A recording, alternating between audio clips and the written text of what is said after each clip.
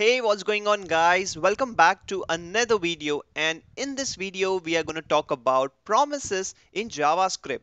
We will go through a couple of examples and we will understand how promises handles async tasks and solves the problem that we saw in our last video using callback functions. But before you proceed further, I would recommend you to watch my video on callback functions in JavaScript just click on the card above and jump to it directly. Also, don't forget to subscribe my channel and press the bell icon so that you don't miss the videos like this one. So let's get started.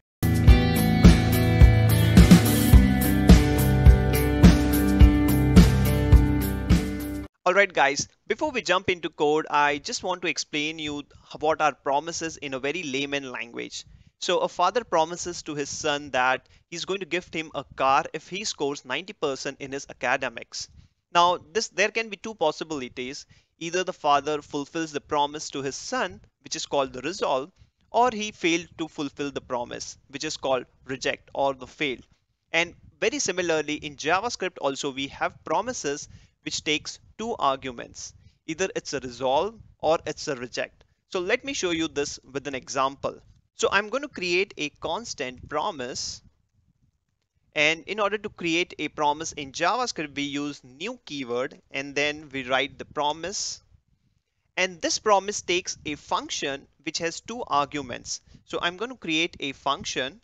I will be using an arrow function and it will going to take two arguments. The first argument will be resolve.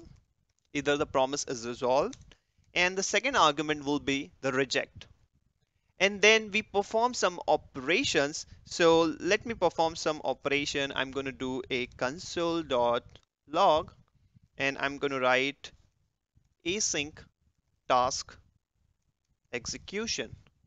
All right and then we can write some conditions here that if this async task execution is fulfilled which is true then that means the promise is resolved. So I'm going to call my resolve method but if it is not resolved and it gets rejected, then I'm going to call a reject method, which is this reject method.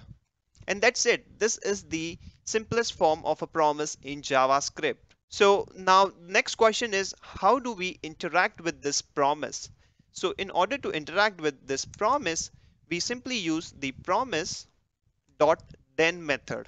And using the dot then method, it accepts two functions. The first function is called when the promise is resolved and the second function is called when the promise is rejected. So we can use two functions. So I'm going to use an arrow function here and then I can have an another function which is for the reject. Alright, so now I have two functions and now let me add a console dot log and I'm going to write a success or let me use past. Past. All right and similarly I can write the another console here and that console will be failed. All right and now if I save it then you will see that my console log for async task execution is logged and we have made a condition of true which gets satisfied and my resolve is called. And when the resolve is called the first method in the then function will be called and that is the console log passed. But what is the case is that this promise is not resolved. It got rejected. So in that case, I'm just going to do a false and if I save it, then it's going to give me failed. So in this case, the promise is failed. We can do one more thing here. Uh, instead of passing this here, we can actually pass the values from the resolve method. So just take an example that you made an API call and that API call is now success and that API call has given you some data. So I'm going to write some data here, person, and this person have a name property and I'm going to say the page. All right, and I will pass this person as an argument in the resolve method. All right, and let me create here another constant as an error and this is going to have error code I'm going to give 1001 and I will pass the error in the reject method. Alright, so if I want to use the value of it, then I'm just going to use a val as an argument here and I can simply log the console here. And now if I save it, then you can see that I get the data which is being passed in the resolve method. Similarly, if you if your promise is not resolved and your promise is rejected, then you can simply take the argument as error and you can type the error here. And this is going to give you the error. I want to show you one more thing that with this then you can also make a catch of your error. So if I want to catch the error, I'm going to write simply catch and this catch will have a arrow function and I'm going to do a console dot log failed. All right. And if I save it, then you will see that I am not able to see the failed is because I have an another function in my then which is the error function. So what happens in case you have missed the error function in your then method, then it's directly going to call the catch method. Now in this case, you will see that the promise is rejected and an error is thrown and an error is handled in the catch section. And you can also use finally here, finally, and this is going to take a arrow function and I can do a console dot log and let me do some cleanup. So this finally will always be called when you interact with the promise. So it's going to give me the failed, but it's also going to call the finally method. You can do one more thing that if your promise throws an error, then you can actually write the throw an error. And what is going to happen is when you actually throw the error, it's going to call the reject method by default. So when you throw the error it's going to automatically being catched in the catch function. And if I directly write here then it's going to give me an error. And that's where we are getting the error. So this is a case where you actually had a promise and which is immediately resolved or rejected. But there may be a case that you have a promise which is being already resolved and now you want to interact with it so you can also do that and let me show you the example. So I'm going to do a let p and we have a promise which is already being resolved. The promise is already being done. So I can do directly promise dot resolve and I can do the execution is done. So this is a promise which is already being resolved and if I want to do the reject then I can similarly do the reject as well. So I'm just going to copy paste and I'm going to change this reject. Execution is rejected. So now even though the promise is resolved we can still interact with using the then handler. And this part we cannot do in the callback functions. Once the callback function is executed you cannot attach anything to it or you cannot interact with it but that's not the case with the promises. And that's where the promises has advantages as compared to the callback functions. So what we can do is if I want to interact with it I'm can just going to write p dot then function. And I can do the console dot log val and I will pass the val here. All right. And now if I save it then you will see that we get the execution is done as a console log but this was not possible if we have used the callback functions. The next thing I want to show you is that promises are by default asynchronous in nature. Whereas we saw that callbacks, they are not asynchronous by default. We have to use set timeout function in order to make it as a asynchronous execution. So let's go to that example again.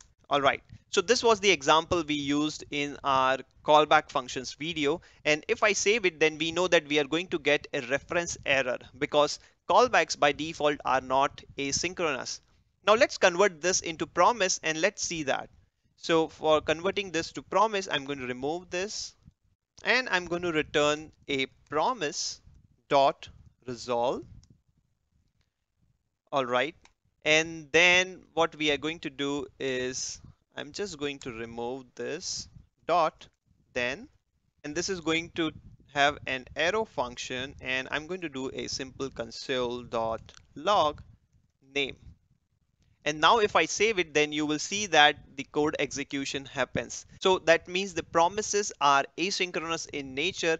They are taken out of the execution flow and then executed later on. So that's why we get the variable name as it's already being allocated in the memory and JavaScript runtime engine will be able to give us the value name. The next thing I want to show you is how we can do chaining in promises. We saw in the callback functions that when we have to do the logical sequence one after the another, we result into the nesting of callback functions and which gives us the callback hell.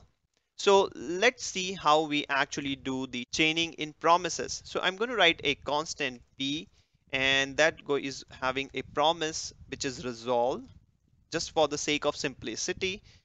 All right, and it's resolve and I'm going to write done. And now I'm going to write p dot then it's going to take a argument and then I'm going to console dot log and I'm going to print the value. All right, so we know that we are going to get the value as done. But now once this promise is resolved, I want to make a chain. I want to make some another execution. Then what I can do dot another then, and I can repeat the same thing. I can do a console dot log. But usually when you use chaining in promises, every then handler has to return something so that the other then handler will accept it. So if I want to do that, I need to return something from here. So let me return as done to. And this done to will be accepted as an argument by the other than function. And then I can do the val. And now if I save it, then you will see that we have done and then we have done two. And if I want to continue this chain, then return done three, then, and I can simply console.log. So I will accept the val and I can do the console.log val. And now let me save it. So now you can see done, done two, done three. But if you do not return anything from the then method, then your chain will get break. So you always has to return something. And suppose there is a case that you have an error. So let me do this as a reject. All right. And I'm going to do a fail that unlike the callbacks where you have the error first callback, you don't need to write the error method in each of the then method. So what I'm going to do, uh, either I can directly write a catch in the last, then I can do the console.log. Well, where I save it, then I'm going to get the fail. So that is one of the advantage that this code is more readable and understandable by the developers as compared to the one which we saw in the callback hell. The last part I want to show you is the promise all and promise race. So I'm just going to remove this and I'm going to write a new function. I'm going to write a make API call and this function going to return a promise. So I'm going to return a promise, new promise. All right. And this new promise will have two arguments. The first argument will be the resolve and the another argument will be the reject. All right. And next thing what I want to do is I'm going to write a set timeout function here. So I'm going to write a set timeout. And what I want that this API call will accept a parameter as time. So I'm going to use that time here. And then I'm just going to do a resolve and I'm going to write here this API executed in plus time seconds. Now let's try it. So I'm going to call this API and I'm going to pass 1000 milliseconds. So it's going to take one second in order to execute this API. Then I'm going to pass a val here. Let's have the arrow function and then I'm going to do a console.log and I'm going to log the val. All right. And now if I save it, then you can see that after one second, my API get executed. So that's we understood. Now there is a scenario that we want to make multiple API calls and all those API calls should go simultaneously. We should not want that first one API call will be executed, then the second one, then the third one. So how we can do that, what I'm going to do, I'm going to remove this and I'm going to make a constant and I'm going to write multi API call.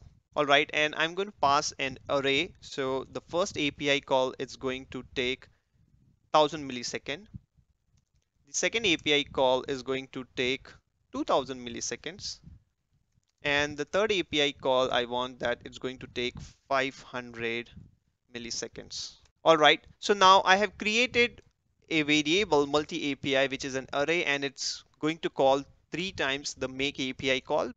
So what I want I want to interact with all the promises only once all the execution of the API is done so what I can do for that is I can use promise dot all and in the dot all I can pass the multi API call and then I can use dot then and this is going to return me the values. So it's going to return me the array of values and I'm just simply going to console dot log values whatever values I have being returned so it's going to return me the array of values so now if I save it then you will see that I'm getting an array of the values we have three promises got resolved. The first one API executed in 1000 millisecond, 2000 millisecond and 500 millisecond. And believe me, these all three API calls were simultaneously. They were not waiting for one to finish and the another one, they all went through simultaneously. So if, if we want to see that why the sequence is 1000, 2000 and 500, if we want to see, because we know that obviously the one with the 500 millisecond will get executed first because it's going to take the less time. And if we want to see that, we can see that as well. So what I'm going to do, I'm going to use promise dot race. So the race is going to return me first promise which is being resolved. So if I do the same thing again, multi API call dot then it will not return me an array. It's simply going to return me a value.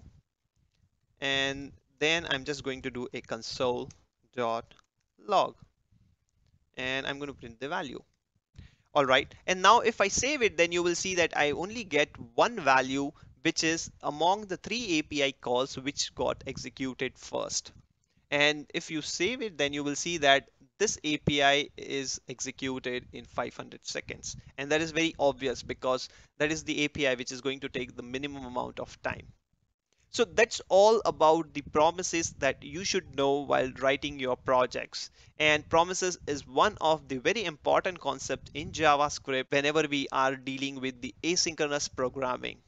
So I hope you like the video. A thumbs up is appreciated. Also don't forget to subscribe my channel and press the bell icon so that you don't miss the videos like this one. You can also connect with me via Facebook or Instagram. I will add the links in the description below. Also let me know in the comment section what topic you want to see in the next video. Thank you. Thanks for watching.